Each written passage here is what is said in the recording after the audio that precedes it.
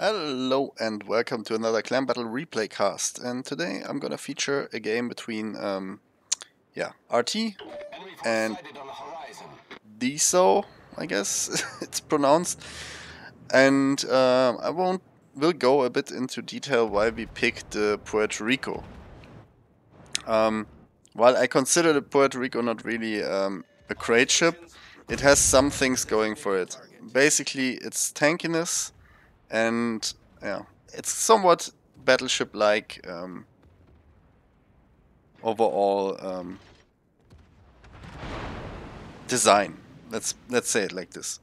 And the guns, yes, that are the Alaska guns, but way way worse um, dispersion, and um, it has some good AA, not outstanding, but hmm, it's doing its job more or less.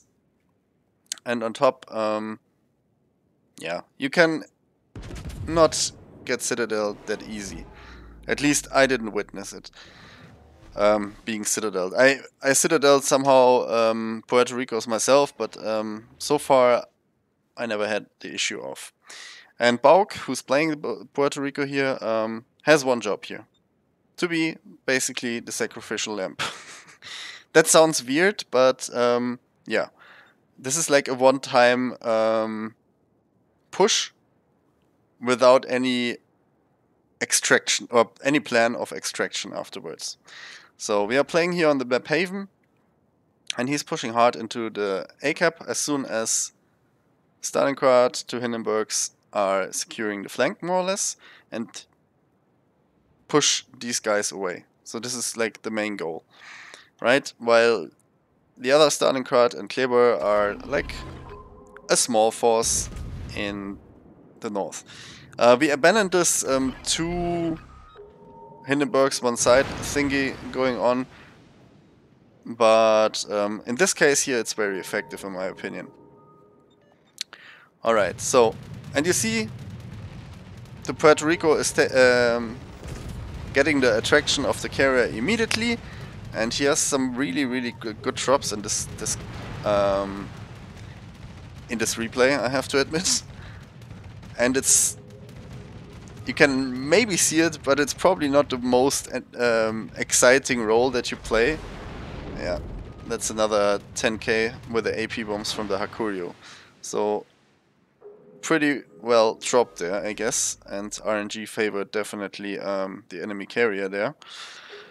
Um, but still, our Puerto Rico is alive, lost half of its HP, can't get that much back, but is in the cap and in the process of capping. So this play uh, this game was played a while ago uh, before I released the um, take what you can get um, replay cast I think or video and therefore it is a bit different because our tactics changed a bit but the purpose of the Puerto Rico is still the same. Either push into a cap if necessary, or and cap it, and then stay there for as long as possible, so the enemy has a hard time regaining it, and um, yeah. So what? In general, survive as long as possible, because if you look at the points, 504 and so on, still ticking, we are getting this more or less. He's also perfectly safe from the guys here on the on the um, right side of the map, so yeah. And here you see also an example of how bad the guns are actually. This is like a dispersion that is like quite common.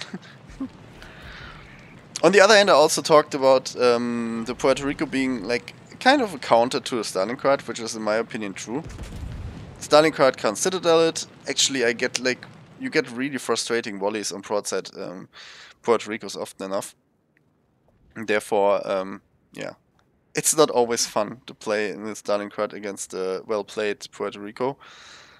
Because you have to switch to HE, and I think the HE DPM is definitely on um, the Puerto Rico side since he has 12 guns compared to 9 guns. So it's gonna be an HE battle, and I think that should the um, the Puerto Rico win in a one versus one situation, obviously. Alright, so we lose me and my Stalingrad because I pushed a bit too deep in and got deleted by the carrier. If I would have known how good his uh, his aim is with the AP bombs, um, I probably wouldn't have done that. I would have stayed a bit more safe up here, maybe here, to counter the Venezias in the middle. Um, yeah, was a bit too aggressive here. Would have given me some crossfire opportunities, but very, very exposed and I would have been at the mercy of the enemy carrier, to be honest. So I tried to avoid this. Goliath, on the other hand, interesting choice.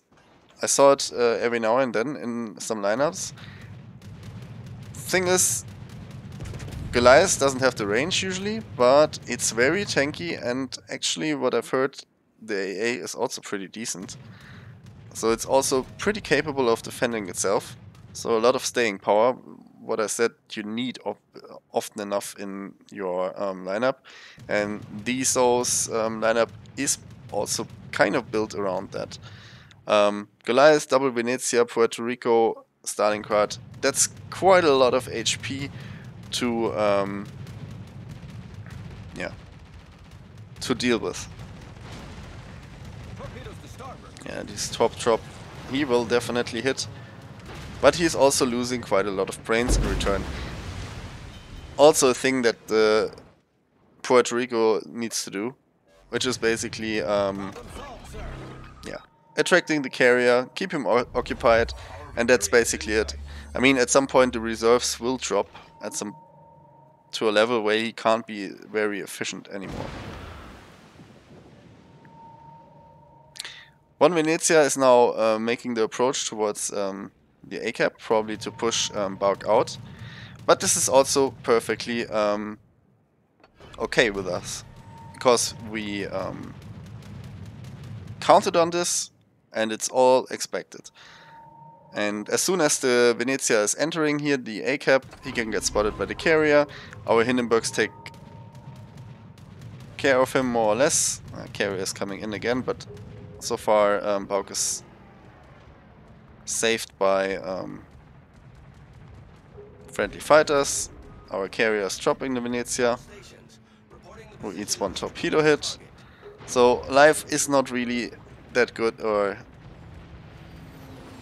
yeah, the life for for this Venezia. I don't want to be in his uh, in his skin right now because he has like almost an impossible ta task to master here. He has to kill the Puerto Rico and then survive for as long as possible uh, in the A-cap because the points are ticking.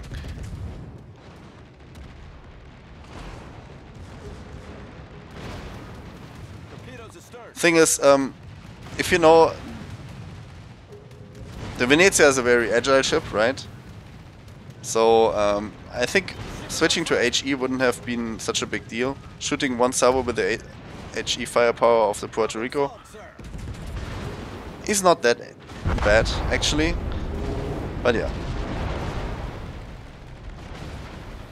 That's the thing you have to figure out as well in the start when you play or start to play the Puerto Rico. And now the Venezia is also chunked down quite a bit, is getting focused by the Hindenburgs and dies consequently. So in the end didn't go that well for THESO. I mean, we, we lose our Kleber. It's still kind of on the edge. Um, our Kleber, um, yeah, he threw away his ship. He should have gone somewhere uh, further north. But yeah, the task is pretty clear for uh, THESO. They need to do something and while our points are ticking in our favor. Because our Puerto Rico hold the A-cap for so long and they weren't able to also um, push our B-cap. Which is also important to, um, to hold in this regard. Overall, I think um, THESO also played a bit too passive. And um, yeah, missed some opportunities. Goliath is now pushing um, to Puerto Rico. Should push immediately into A. I don't know why he's not doing it. At least occupying the cap would have been a thing. Um, looks a bit like missing coordination. But yeah. The sacrificial, uh, sacrificial lamp saved us the game. The Hindenburgs just need to farm the Goliath now, and that's GG, and we win the game. So now you see the importance why we have the Puerto Rico in our lineup. Not because of the guns, not because of the um, overall thing of that ship. Ah, okay, now the Puerto Rico is going in, but it's now too late. I think he should have done it before. And um, yeah, you just simply see it, the value that you can get out of it um, when pushing into this uh, in such areas. Here on Haven, it's really rough to dig him out. And if the carrier wouldn't have hit such crazy good um, AP bombs, I think he might have survived there way, way longer. At this point, it's over 995. We win even with one cap, and the Goliath is also about to get down, but doesn't matter in the end. Um, we win by points and win the game. So yeah, sacrificial lamp. You understand the purpose. Um, delaying the enemy as long as possible. Also, it shows that you need to put. I mean, he waited for the right moment to push in, right? Then, I mean, solely or doing it solely without any cover from your team will get you killed immediately. But if you have cover from your team, you get in an almost untouchable position. Well, untouchable is relative with carriers around, but um, yeah, in a pretty um, yeah, decent spot, at least on Haven. And um, yeah, hard to dig out, as I said. The Venezia had no fun. Um, the group that was at um, or below A played a bit passive, in my opinion. Um, could have done a bit more from Caesar's side, but um, yeah, that's how it is sometimes. And um, yeah, if you don't react quickly, you lose the game basically. All right, um, that was basically what I wanted to show you. It's, it's a rather short video, but um, explains the whole purpose of this, um, yeah, sacrificial lamp approach. Um, it doesn't work on all maps, or not initially. So don't take that as granted and always as blueprint that it always works like this. Um, you need to check for the right moment. You need to see what the enemy has as a lineup. But usually, if the enemy has the same plan, then you need to counter it as quick as possible. They had a Puerto Rico themselves. Puerto Rico of them could have gone into A as well with some support fire from their team. Even though they were a bit outgunned, maybe relocating uh, Venezia over there and yeah, from there on push it in would have made things tougher for us, at least, I would say. Okay, that's it from this episode. Hope you enjoyed it. Hope you could learn something from it and uh, how the tactics work um, from on our side. Um, that's it mainly. Give it a like if you did so. Um, apart from that, wish you a nice day. See you next time. Bye bye.